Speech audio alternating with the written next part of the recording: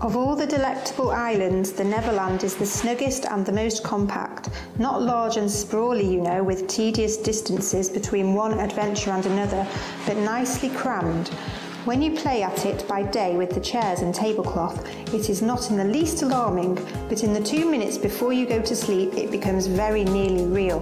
That is why there are night lights. Aww, so sweet. Live in Neverland. Well, this is the first painting of Neverland I've done from the Peter Pan series. Barrie says in the book that everything is crammed in, there's no long distances between things. I've decided to do it as an aerial view so I could really get in everything. Swimming with the dolphins and whales, watched by penguins and the walruses that were just sticking their heads out of the little pools. Got the crocodile here waiting for Captain Hook waiting for his moment on the pirate ship, of course.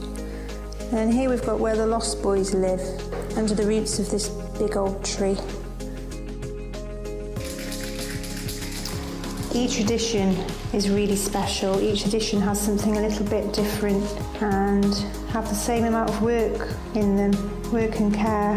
So I've intended Peter Pan in Neverland to be the last in the Peter Pan series. I've been working on the Peter Pan for a couple of years now. So I was thinking about what Neverland is or where it is. And what I think the author was trying to convey was a place where he went in his, his imagination and where I think artists go when they're painting or an author goes when they're writing their stories often when you look at children at play and they're so completely absorbed in what they're doing and living purely in the moment, that's where I think Neverland is.